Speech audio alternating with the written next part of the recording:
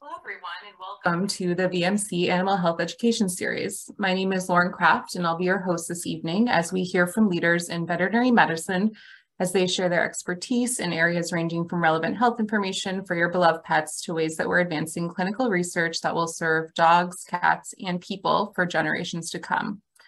During the presentation, you can use the Q&A function in Zoom to ask questions. We ask that you use the Q&A button instead of the raised hand button as it helps us better track the questions as they come in.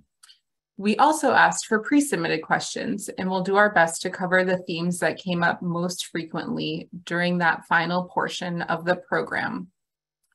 Please note that if your question for tonight's presentation relates to your pet's specific medical care, it is best to call a VMC directly or to have your primary care veterinarian contact our team for a consultation so that we can best serve you and your family.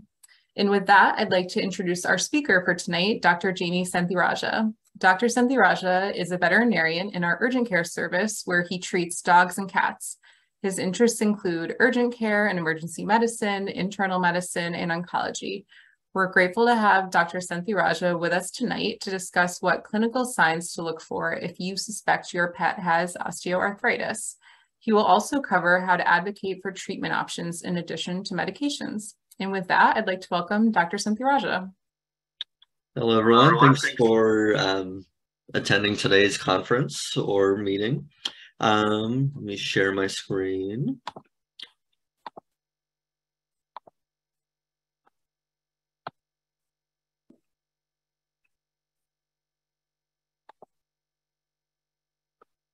Okay, so today we're going to talk about um, osteoarthritis medical management and some options besides medications. We will talk about medication options because they are very important in the overall treatment.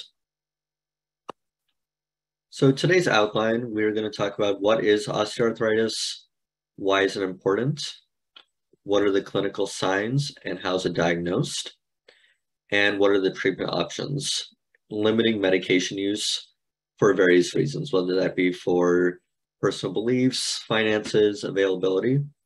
But again, medications do have a very important um, part of the overall treatment for arthritis. So this presentation is not to say medications are bad just want to give you other options to treat arthritis in your pets.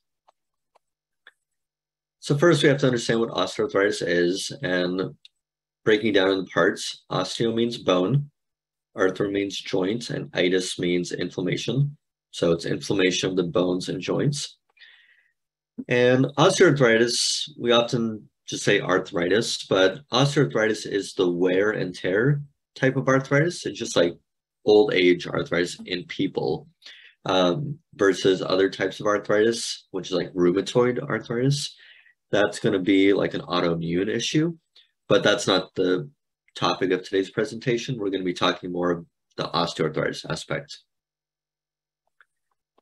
So in the body, there are three types of joints. There's the fibrous joint, and those are joints that you don't want to move around a lot. So those are going to be joints in your skull. You want a lot of stability. You have cartilaginous joints, which are joints that you want a little bit of stability, but you want some movement. So that's going to be a joint in your spine, for instance. And the most important joint that we're going to you know, talk about with the arthritis is the synovial joint. And those are the joints that allow pets and us to run, play, you know, just be more mobile. But with that mobility leads to the increased chance of disease. Um, so that's what we're going to talk about. Uh, just going back to our anatomy, uh, the joint has three main components. There's the cartilage, which is this inner kind of cushion-like material. It's kind of a shock absorber. There's the joint capsule, which is the outer lining of the joint and the joint fluid, also kind of also called the synovial fluid. And that that's the lubrication that allows joints to glide effortlessly. And then subchondral bone, which is like a cushion-like material for um, for mobility, and then surrounding muscles, nerves, and connective tissue. So normally with arthritis or in any joint, there's a balance between building of the joint and repair. and destruction or damage. And normally it's a fine balance between the two, but with osteoarthritis, that destruction is a lot more heavy. So the body can't repair itself as fast as it's destroying itself. And that's what leads to um, all the clinical signs and disease later. Um, kind of putting in a picture, the left we have a normal joint. You can see that this cartilage, the white area, is very thick, cushiony. The joint capsule is very thin. Um, and on the osteoarthritis aspect, you can see that cartilage is worn down. And with that worn down cartilage, that's going to be this bone rubbing up against bone. And that obviously can lead to a lot of discomfort and pain. And this joint capsule is pretty thickened as well. So just a lot more inflammation. And that makes mobility a lot more difficult. So the significance, if we think about the joints, you know, we think about liver failure or congestive heart failure or end stage renal disease. But if we think about the joint as an organ, osteoarthritis is that end stage organ failure where, you know, a pet is normally going to be able to get up from, you know, their bed and walk around normally. But with osteoarthritis, it can be very limited and it is basically a failure of an organ. A very important concept to know is that osteoarthritis in pets often begins at a young age because it's developmental in origin and that can be related to genetics, diet, breed. Um, you know, our bigger dogs, our Bernese Mountain Dogs, our German Shepherds, our Goldens, we're a little bit more predisposed to arthritis compared to our, um, you know, our Maltese, our Chihuahuas. And it is the most common joint disease leading to mobility issues. However, it is very underdiagnosed and overlooked. Again, because in humans, arthritis, you think about, you know, an 80 year old person. You don't think of a, a 15 year old person getting arthritis unless they broke torn ACL or something. Um, in dogs, um, it's estimated that 20% of dogs have arthritis, and the cat studies can vary depending, but it's estimated to be about 20 to 70% of cats can have arthritis. And 50% of dogs are diagnosed um, with arthritis by age 8 to 13. Again, because it's underdiagnosed, we're not thinking of these dogs being arthritic or these cats being arthritic. So we just think they're a little bit slow to get up, but we're not diagnosing them as arthritis. So we'll talk about how to diagnose that earlier. And this osteoarthritis will lead to pain. And if that pain is not addressed or treated appropriately, the patient's quality of life can suffer. And unfortunately, it can lead to an early euthanasia. So we want to avoid that and give them that quality of life so we can get extra years out of them as opposed to potentially euthanizing before their time is up. So the clinical signs of osteoarthritis can vary greatly. Uh, it's going to depend on the patient and how stoic they are and potentially their lifestyle.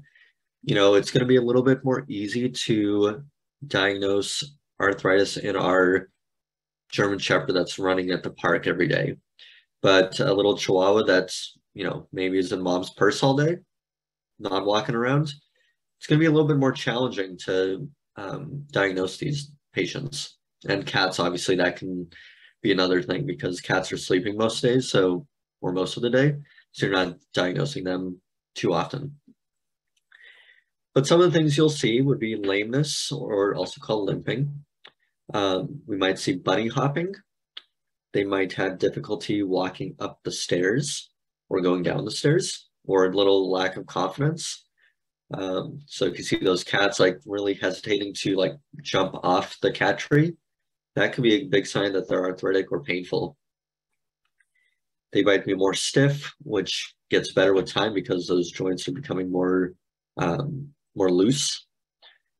Muscle atrophy, because the patients aren't using their joints as much, those muscles aren't getting enough blood flow to the area and they become they can become atrophied or um, you may see the bones more prominent exercise intolerance. So maybe your pet was able to do 30 minute walks and now it's suddenly 20 minutes and you're just attributing that to it's cold outside or it's hot outside but it could just be a sign that they're they're painful uh, decreased jumping like we talked about lethargy and behavioral changes so that's going to be really important and things that you as pet owners are going to want to kind of look at pets can show pain in different ways. Sometimes they may be more grouchy, just like we are.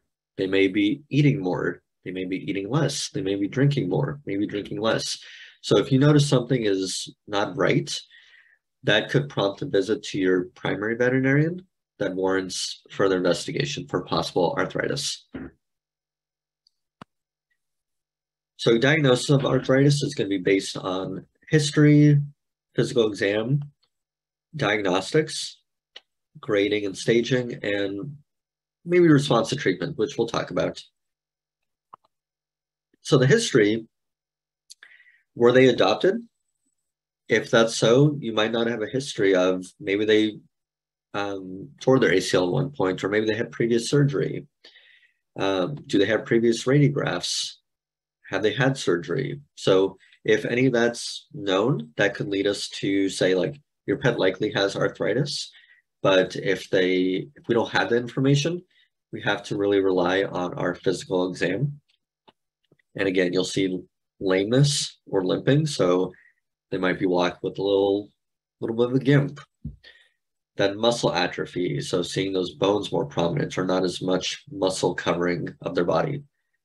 And those are the two that you're going to see mostly um, at home. These other things, joint swelling, pain on joint manipulation, or bone spurs, you know, we don't expect you as clinicians to diagnose any of that. But if you want to feel around your pets and they're not painful, by all means go for it. But these are going to be the things that the clinician or the veterinarian are going to be able to diagnose. So a couple videos we have.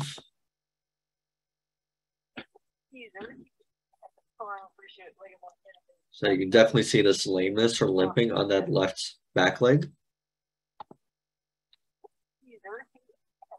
So the fact that they're walking on three legs means they're painful. And um, once there's some sort of damage to a joint, arthritis has already formed. So we want to intervene sooner. Um, another vote or video, We have a German Shepherd. You can kind of see how we kind of bunny hop and our back legs aren't really like going back and forth. We're just kind of focusing our attention, our weights to our front legs because the dog in this one is trying to put pressure off of its hips. This dog has hip dysplasia as a attempt to alleviate that pain. And dogs are resilient um, to get that done. So, you know, they may not be crying out in pain. They just may be walking differently. Um, and that's something we just have to rely on, like really paying attention to seeing that to know that they're painful. And then we'll not forget about cats. We got a little cat video. Very slow and hesitant to jump off surfaces. So we can see that cat's it's definitely hesitating to want to jump because they're painful. They don't want to take the wrong Slow Step. and hesitant going down the stairs. Same with this, you know, maybe it was a each time.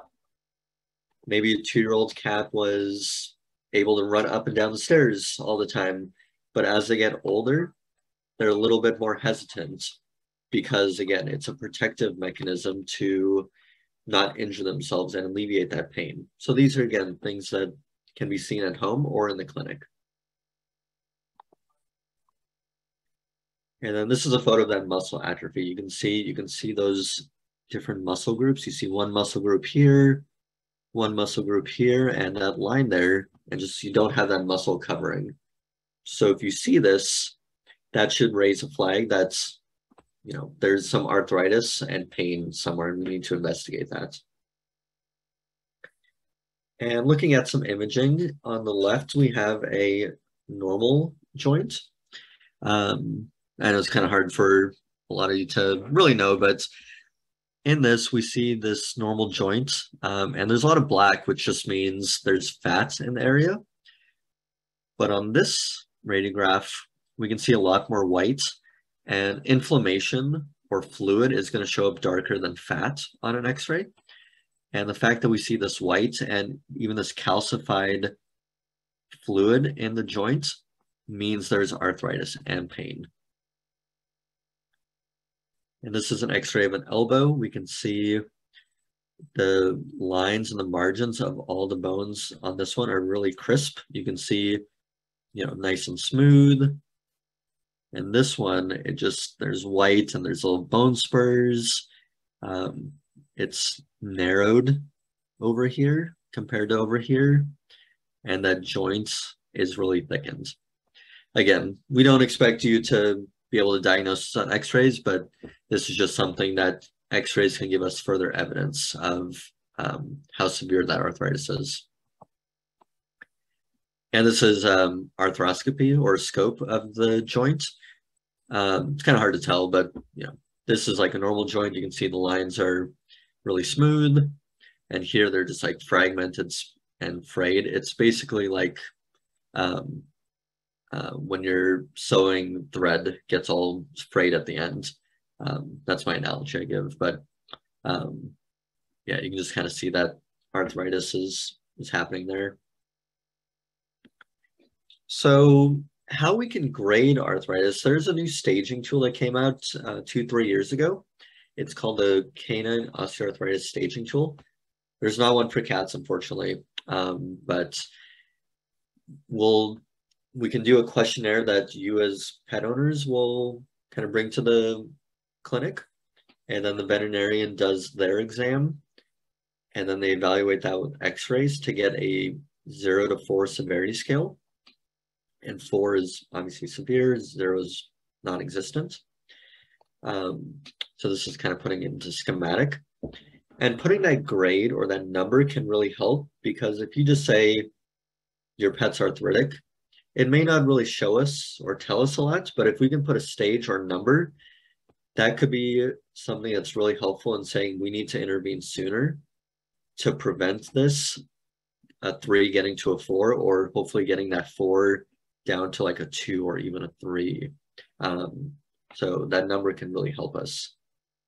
But it's not an absolutely necessary step, but it can be helpful. And then response to treatment. So these are tough because, you know, sometimes we can't always get x-rays for various reasons or scoping.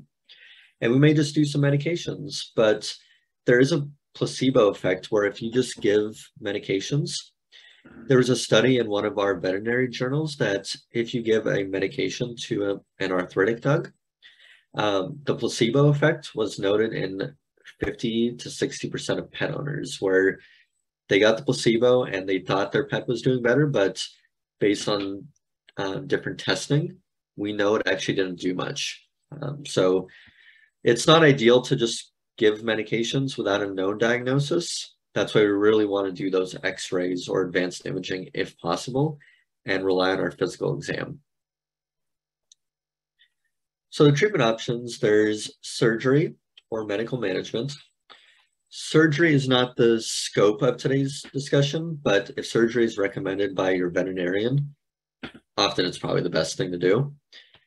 But we'll focus on medical management, and this can be adjunct in addition to surgery or a sole therapy if surgery is not feasible for whatever reason. Um, with the medical management, you want a multimodal strategy. So you want different mechanisms um, because they all work different ways. So if you want to treat arthritis, you need to do it multimodal. And at-home treatment is important, easy, and inexpensive, or cheap, or free. So everyone loves a mnemonic, so I came up with a mnemonic called the few meds approach. Uh, we'll go through each one. Uh, the F is for focused physical therapy, and that's going to be range of motion, stretching, massage, thermotherapy, and bedding. Range of motion is going to be influenced by many factors such as breed, their conformation, their weight. And when we say PROM, that's called passive range of motion. So that's basically when you're taking the joint um, and you're, I use my uh, finger for example, you're flexing and extending to the point where it's not painful. So you're just trying to get that normal motion of what the joint is supposed to do. Because when pets are arthritic, they don't want to move and those joints become really stiff and a lot of scar tissue forms. So that range of motion gets that body kind of realizing this is what I'm supposed to do and it prevents that scar tissue from forming. And that's going to make our joint healthy and it's going to promote cartilage health. But again, you want to make sure patient comfort is um, adhered to. So you don't want to extend and flex to the point where your pet is screaming out in pain because otherwise they're going to resist it and it's going to do more harm than good. You're just going to do um, specific treatments. And as far as specifics, these are all things that you and your primary vet will be able to do a tailored treatment. These are just kind of general guidelines. Every pet is unique, so talk to your primary veterinarian about what exactly needs to be done. Um, stretching, that's elongating those muscle groups. Um, and that's going to potentially reduce the risk of further trauma.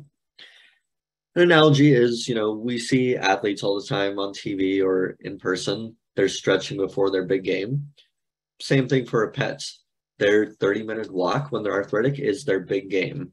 So if we can do some stretching to loosen up those joints, it may make um, their activity a little less painful. And heating of the joint before stretching can be helpful because it loosens up those joints. Massaging, you know, humans, we think of it as um, an indulgence, but it does have some medical um, benefit. In research, it's been shown to increase um, blood flow and lymphatic return, which promotes healing. Uh, gets rid of all the bad molecules and brings in the good molecules that are good for joint health. And it's also been shown to reduce stress and increase serotonin, which is the, the feel-good molecule. Thermotherapy, that's going to be, again, heating the joints before exercise and then icing after, you know, maybe a 30-minute walk. If they're really stiff, you might put a little ice pack on their on their elbow or their knee. Same analogy after games, athletes will ice their, you know, their shooting shoulder Bedding, there's still a lot of human research um, ongoing, and there hasn't been a lot of uh, veterinary research so far. But in general, a medium firm bedding or a memory foam bed is recommended. And you want it to be non-slip, so you don't want that bed to like slip out from underneath them when they crawl into it. Um, so obviously, you know, we like a good night's sleep. Our dogs and our cats also like to sleep really comfortably. Uh, we have exercise. We want to reduce that excessive mechanical trauma. So exercise is important because we want to control this. This is not, these arthritic patients, we don't want to go to the park and just like let them loose for three hours. We want this to be controlled. And there's terrain versus aquatic exercise. So terrain exercise, you're going to want consistent and frequent low impact controlled setting exercise. So those are going to be leash walks for what I tell pet owners. If you can, depending on your lifestyle, go on a 10 minute walk every couple hours.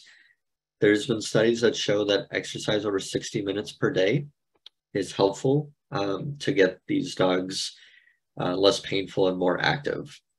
And if you're infrequent on this exercise, you're not training them that they need to go out if you make this a consistent habit, they get that mental stimulation. Plus, they like to go out for dogs, maybe cats. Um, and we're just going to train that body like this is what I'm supposed to do, prevent that scar tissue, make those joints more lax and loose. Then there's aquatic exercise. There's underwater treadmill versus swimming. In general, underwater treadmill is going to be better uh, because it's a more controlled setting. You can adjust the temperature of the water, the incline, the speed.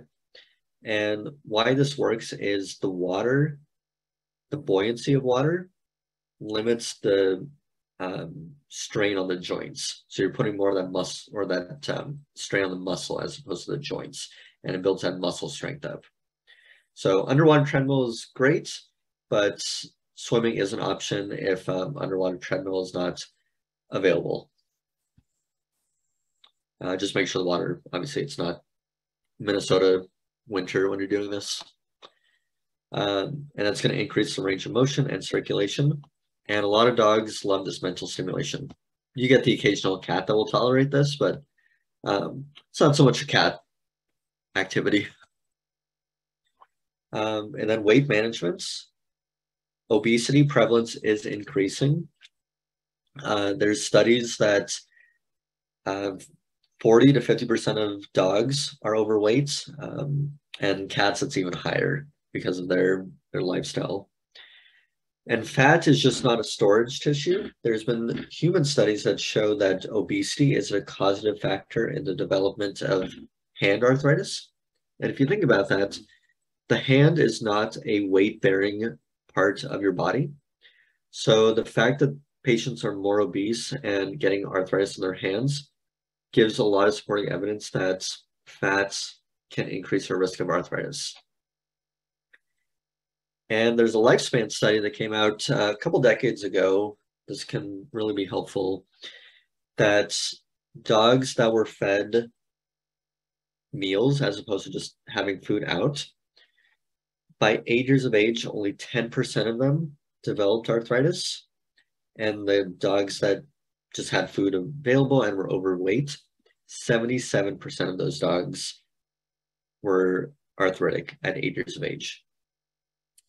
And that same study, the dogs that were fed limited food and were more lean lived about two years longer than their obese counterparts. So we want these pets to live longer, have more life, more love.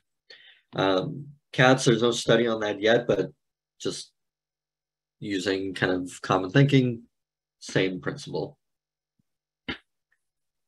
And this is a chart that you may have seen in your local vets. It's a body condition score where it's a one to nine scale depending on, you know, how obese they are. One is skin and bones, and nine is like a sausage.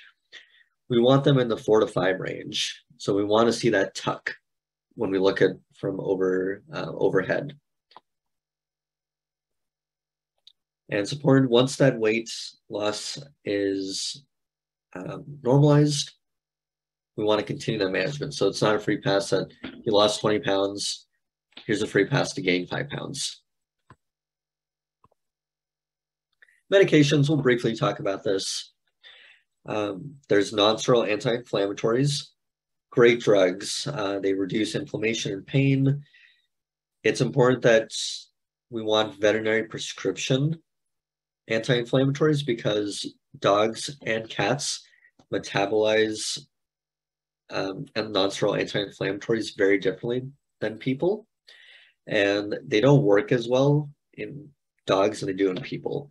The veterinary prescriptions are the most beneficial. Um, so don't use over-the-counter anti-inflammatories without veterinary advice. Patient health is going to be important. If you're going to switch NSAIDs or non-steroidal, you need to wait a few days before just starting a new one because not every anti-inflammatory is going to work for every pet. You know, it's like some people like Coke, some people like Pepsi. Same with dogs and cats. One might work better than the other.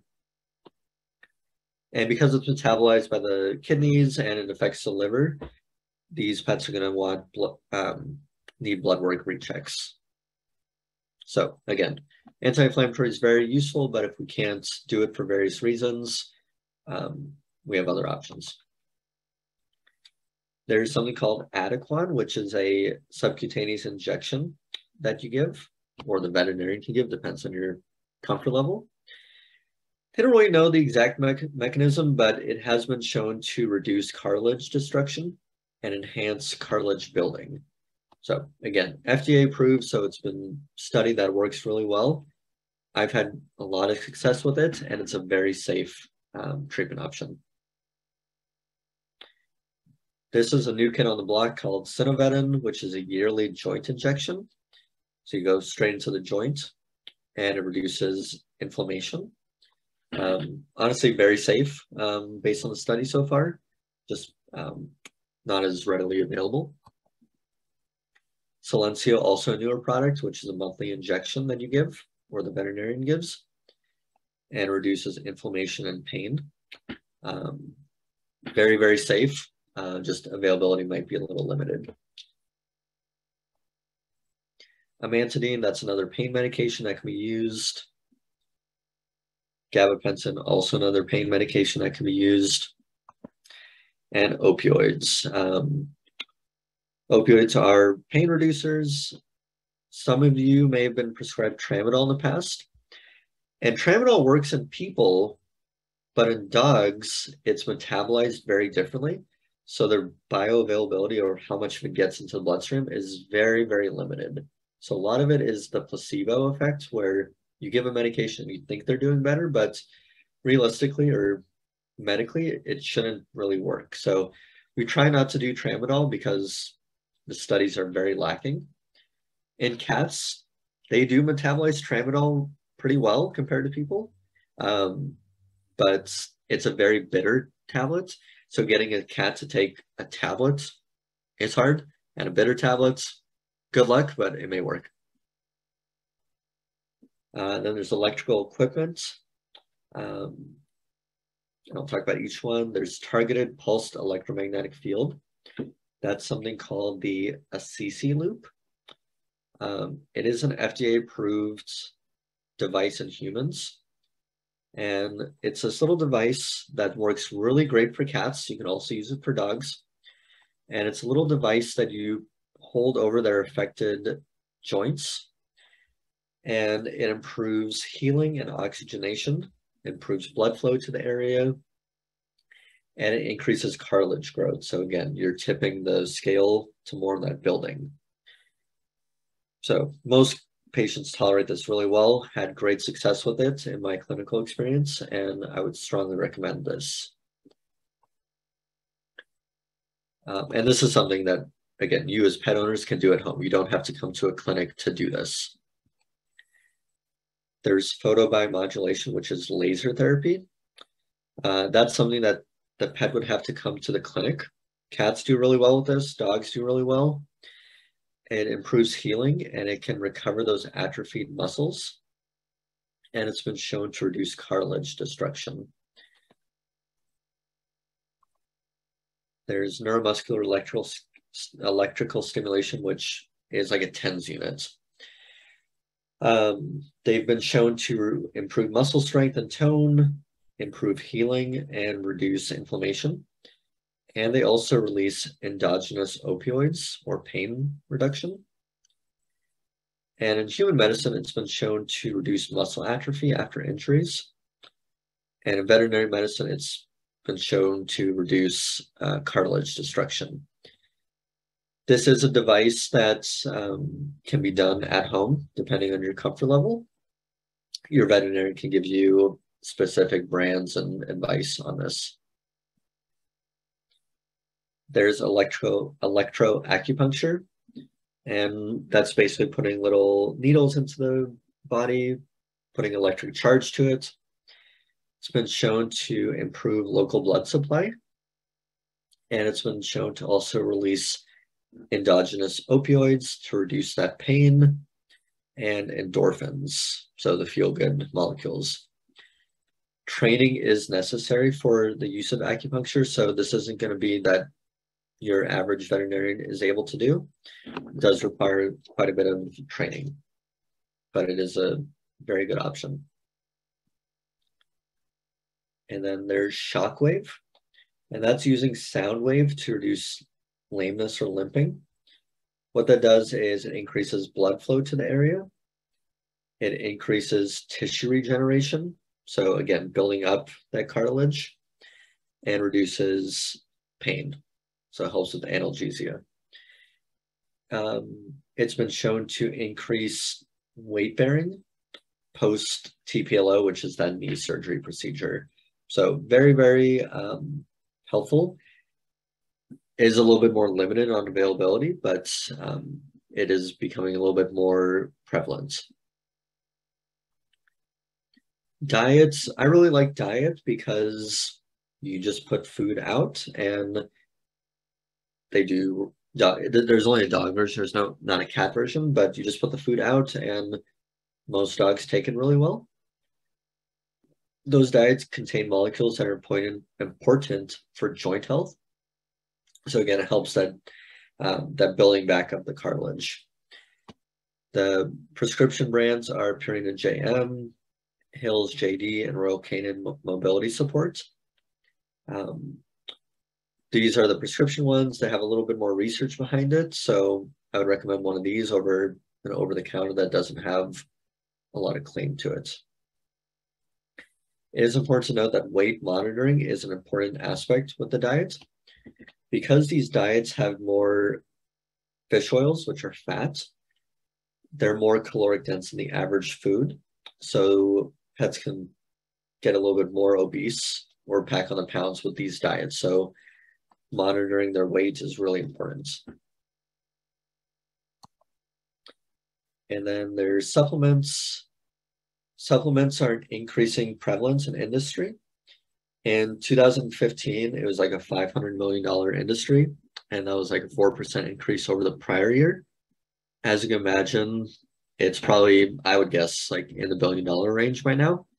Um, so it's very important because studies have shown that up to 33% of pet owners have used a supplement for their pet in the past year.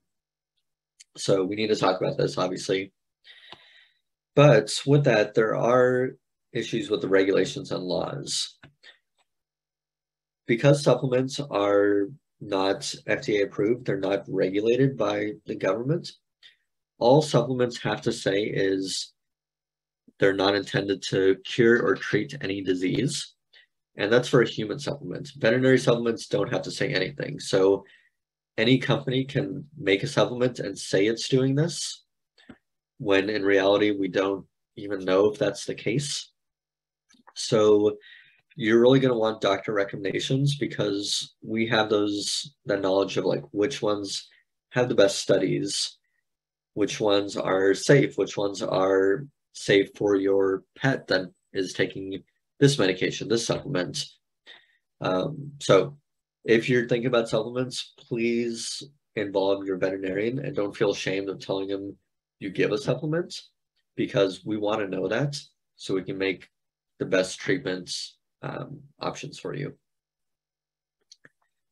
Those supplements with the best research or the most common at the moment are omega-3 fatty acids, glucosamine and chondroitin, and green-lipped mussel. There are many others. Further research is ongoing, but we'll just focus on these three today. So omega-3 fatty acids, you're going to want the DHA and the EPA, and those are the specific molecules that if you look at the back of the bottle, it will say how many milligrams are in each capsule or in the scoop you don't want the ALA fatty acid because that's the fatty acids that's in flaxseed. And dogs and cats don't metabolize flaxseed to get to um, to be able to be used. So the fish oils are the most important. And those fish oils reduce infl inflammatory mediators in the body. And there's capsules versus liquid, depends on the patient and which one they tolerate. Um, cats can do really well with this, with the capsules uh, or the liquid. Dogs do really well in general. The brand I like the most and had the most success with is called Welactin, but there are others. So talk with your primary veterinarian about which recommendation is best for your pets. It is important to know that these do take about two weeks to work. So if your dog or cat has some acute injury, this isn't going to be something that immediately is going to work. It takes time. Glucosamine chondroitin, that's going to be something in Cosequin or Dasuquin, something we use and I used when I was a kid or my parents used as a kid and my dog. Those molecules are the building blocks of cartilage. Veterinary studies are lacking on how effective these supplements are. However, it is a very generally safe medication or supplements.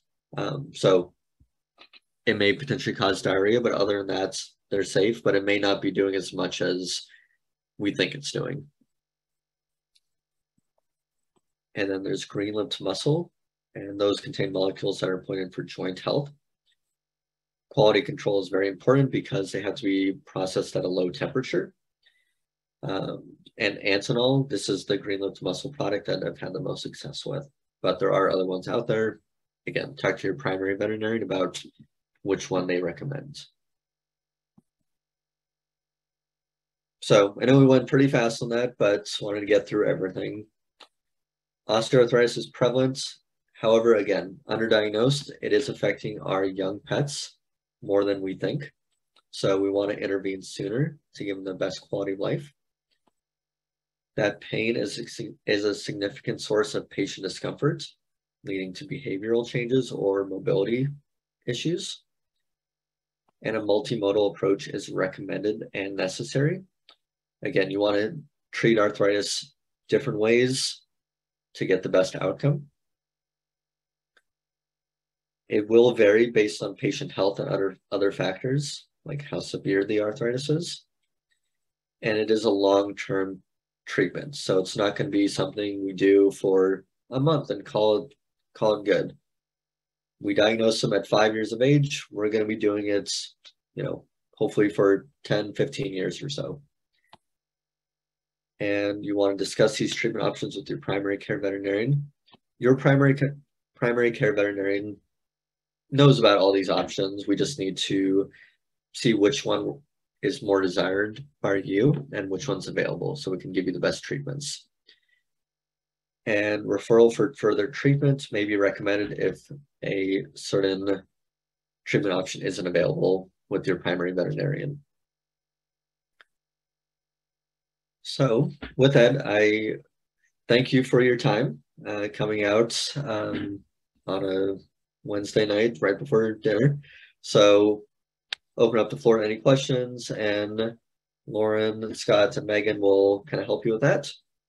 Yeah, thank you so much. Um, it was really helpful presentation. I know I learned a lot about some of the, the nuances. So we had a lot of great questions come in in advance and tonight, so we'll just jump right in. Um, there was a question about younger pets. And so someone asked, is it possible for younger pets, such as a three-year-old dog or cat, to have osteoarthritis? Yeah, really good question. Again, um, we don't think of it uh, just because we think of arthritis, we think of people, a seven-year-old person getting arthritis, but dogs are running around, they're more prone to it via genetics and breed, and they can tear their ACL potentially at any moment.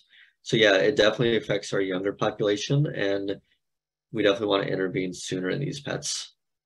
Okay.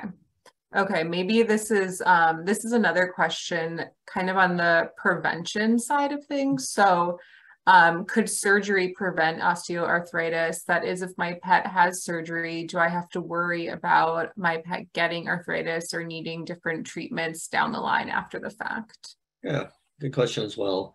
So once we have like an ACL tear, for instance, normally that ligament is keeping the tibia and the femur together. When that ACL is torn, the bones are rubbing up against one another so surgery is going to help stabilize that knee. But once that ligament is torn, that arthritis cascade has already started. So the sooner we can intervene with surgery, the better, because then we hopefully need to only start a lot of these treatments like five years from now, as opposed to like two years from now. So yeah, surgery is very important if possible. Okay. Um, and then you talked about medication and supplements. So this question is about the long-term use of Rimadyl in older and achy dogs.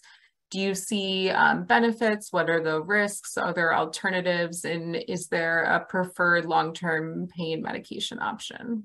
Yeah. As far as medications, um, uh, veterinary prescription non-steroidal anti-inflammatories have a lot of research. They work really well. Um, there's a lot of clinician preference on which one they like the most, but because they're processed by the organs, if there's liver disease or kidney disease, these medications may not be um, a great option. We may need them sparingly to get them over a hump. Um, say you took them to the park and they're really sore, you may need to do that. But the goal of this kind of presentation is to give you other options besides medications, um, because ideally we want us as people too, the less medications we can take, the better. But medications do have their place in providing comfort. Sure. Um, I know you talked a little bit about exercises, and there was a question of can you recommend different types of exercises that people can do with cats? Yeah. So that range of motion exercise is really good. Again, depends on how much they tolerate. Um, stretching, again, if they tolerate. And, you know, cats like laser pointers, feathers. So if we can get them like walking around on the floor, that's really helpful rather than just like sleeping and you know making those joints more stiff and if you have a kitten you know get them exposed to the outdoors i i have a friend that takes his cat hiking and he's on a leash so it's not for everyone not for every cat but you know if you have a younger cat that's open to it get them out there they can exercise fun um all right, you touched on on this a little, talking about some of the newer medication options. Maybe you can um, speak to the difference and if it's, you know, if you think it's better or worse maybe than some of the older ones. And people were asking about um, Solensia, Sanofin, I might be mispronouncing that. Um, but just what are some more detailed thoughts on the newer options that are out? Yeah, so Solensia is like a medication called Cytopoint, uh, which is an allergy medication, where Solensia just targets the protein that's involved with inflammation and pain signaling. So it doesn't do anything else to the liver, the kidneys. So because it's really targeted, it's working really great. Uh, but it is an injection that you, the veterinarian or the client has to give. Um, but I haven't personally used it, but I've had colleagues that their pet owners have said it's worked really well. Um, so more research coming on that, I'm sure. And Synovetin is a joint injection that the veterinarian's going to have to give. Uh, that's an injection you give that's going to last for a year and it targets the inflammatory mediators in the joint. So it prevents those from like running rampant. Um, that's when anytime you put something into a joint that needs to be super, super sterile to not introduce an infection. So that's going to have to be most likely with a primary vet under like heavy sedation so the pet doesn't move. Um, but because it's targeted, very safe, minimal side effects from what I've read so far. Okay, great. Um, I know this is always hard as a pet owner. So how can you tell stiffness um, from actual pain, those sort of smaller nuances? Yeah. So honestly, stiffness is a sign of pain. Anytime we're kind of limping around and just like, oh, it's achy, you know, we're painful, but dogs are resilient or cats are resilient too. If you say, if you have an arthritic dog and you say, let's go to the park or let's go to walk, their ears go up, they don't care because in their minds, today is the last day they're ever going to live. So they don't know that they're sick, for instance. So if you see stiffness, that is a sign that they're painful. They just may not be showing the other symptoms that we would expect. Okay. Um, you talked about this a little in terms of um, warming up joints. So how do you recommend um, warming up before joint stretching is a heating pad okay to use i think you you mentioned that but if someone is using it how do you recommend they use it are there different settings you recommend or what are the uh, details with that yeah so um, i'll like microwave like a rice bag and put in the or put in the microwave and then just test it on your skin. And if it's too hot for you, then um, you know, don't use it on your pet. If it's nice and soothing, do that. Uh, the nice thing about pets is their fur kind of transmits that heat. So you can do what I recommend is do a couple minutes on the joint and then take it off and then take it off for like a minute or two and then go back for a couple minutes and do like two or three repetitions uh, because that residual heat's going to get deeper down and help. So Okay. generally like two, four minutes or so, um, you know, before exercise or stretching is my recommendation. Okay, great. Um, this is maybe getting back to a bit of the prevention, but if I get a new puppy, are there play activities to avoid right from the start? Yeah. So when we're puppies, they're energetic. So I kind of like to let them set their own pace to get that mental kind of stimulation. But I wouldn't go from like, you got a dog from the shelter to let's go on a five mile hike right away. Do a gradual thing. And if they're tiring out, then, you know, maybe tone down a little bit. Also be prepared if you like go on a long walk and they're like out of it, Mm. they're going to be need to be carried home or call an Uber or a friend so they're not putting more strain. But you know, generally, I wouldn't have like a puppy, you know, jumping off, you know, the bed, for instance. But they can go on a walk, little little tiny hike, but don't overdo it. Is generally Okay. what I recommend. Okay, yeah, and that's kind of similar to the next question. Are there any steps we should be taking now to minimize risk of problems later in our current dog's life? So maybe that's the same type of question, just at a different life stage for the animal. Yeah, so um, probably the biggest thing for pet owners is going to be keeping them lean. And if you can start that at a younger age, like don't just have food out because then they're just going to keep gorging. And, you know, we feel bad. We're like, oh, your bowl's empty. Here's some more food.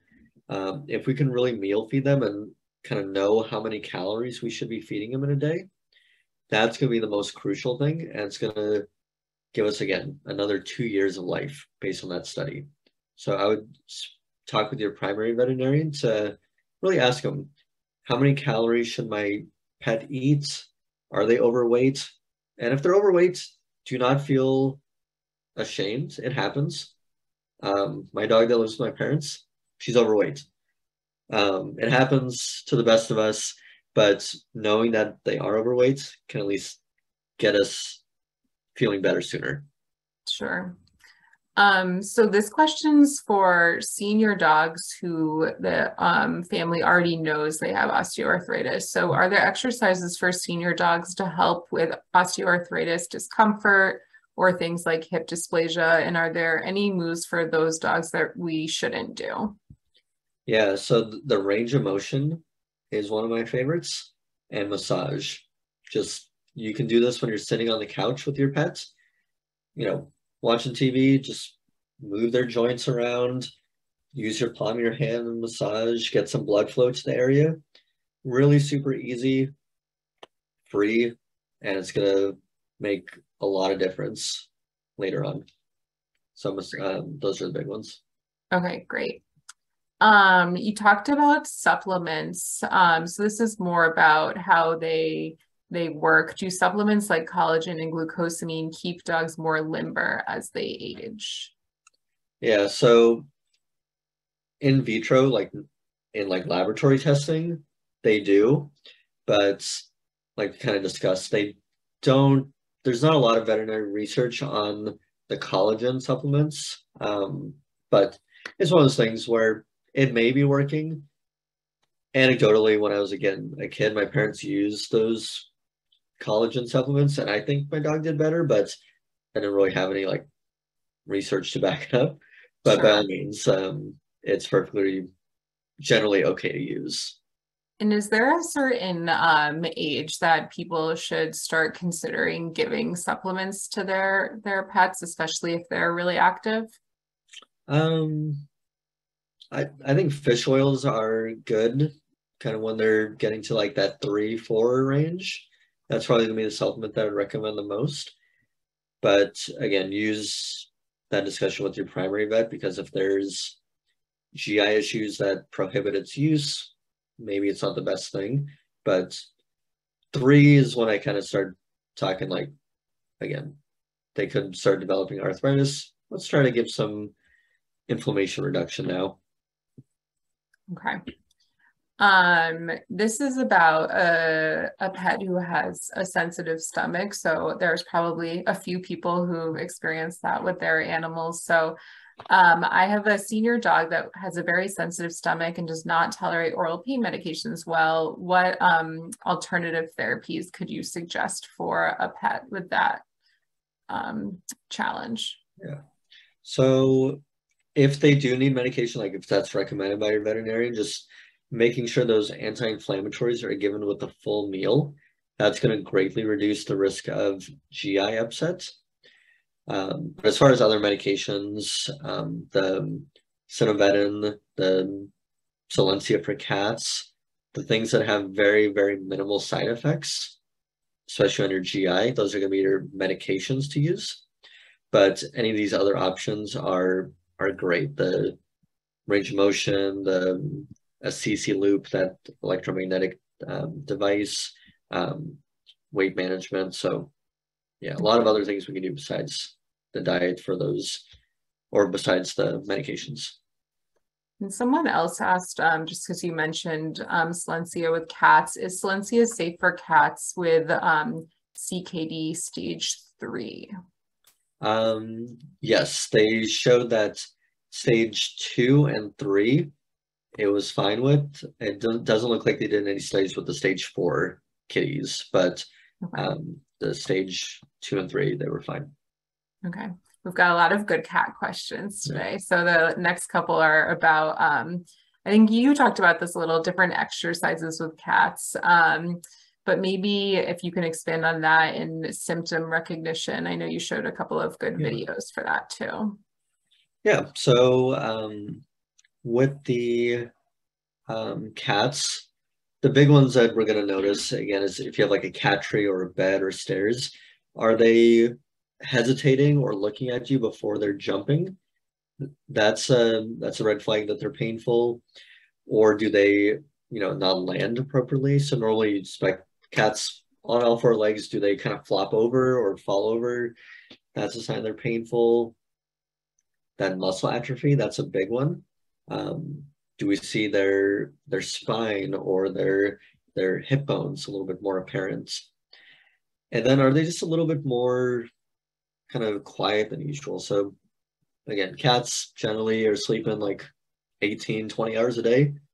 Are they now sleeping 22 hours? And these are very subtle things that us as clinicians, we are not seeing that because when cats come to the clinic, you know, they may hate us and they're still like trying to kill us um, or they're like super friendly and they're not showing us that pain. But when they're at home in their environments, that's going to be when you're going to notice that the most.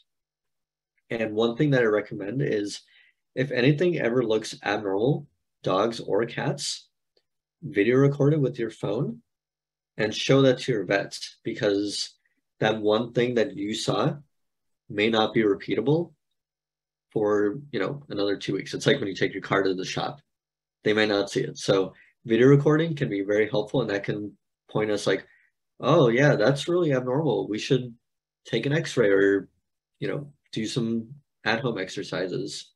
Yeah, that's a good reminder. Um, okay, we have time for one more question. So, uh, what about meloxicam for medicine? I haven't heard that one come up yet.